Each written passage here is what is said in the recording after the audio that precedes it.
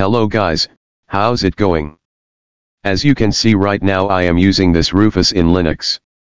Well this isn't that hard to figure out how to run it, but if you can't do it, don't worry I have got you covered. Just follow this video and you will be able to run it. But before going anywhere, just make sure that you have murdered the subscribe button and also hit the bell icon in advance. Alright first of all the OS I am using right now is Ubuntu 21.10. If you want to install it on your PC, just let me know in the comments. Okay, now go to the Rufus website in your web browser. Now scroll down on this page and you will find the section which contains Rufus download links. Click on the first one. Wait for the download to complete. Once complete, go to the downloaded files folder and rename the Rufus application from Rufus 3.17 to Rufus. Now right-click anywhere and click on Open in Terminal. Once the terminal is open type in, wine, space rufus.exe. Now since I don't have wine installed on my PC so I am getting this message, but if you got it installed your Rufus will start running, else follow these steps.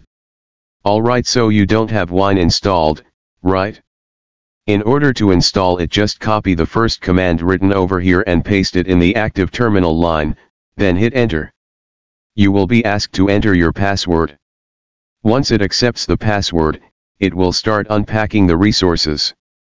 You will be asked for confirmation to download the other files, type in Y and hit enter. Your downloading will start. Alright, your downloading will be completed once you reach this point. Now, scroll up and find the step from where you took the first command. OK, here we are, now copy the command just below the first command.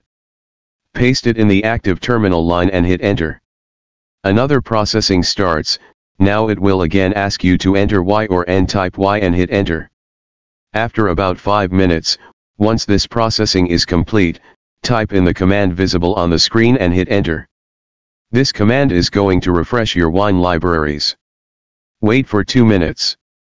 Once this is done, type wine space rufus.exe, it will read all the libraries of wine, after 20 seconds it will run Rufus on your PC.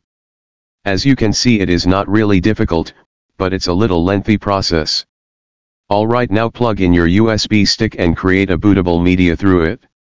Okay guys that's it for this video. If this was helpful make sure to like this video and consider subscribing to my channel. Thanks for watching.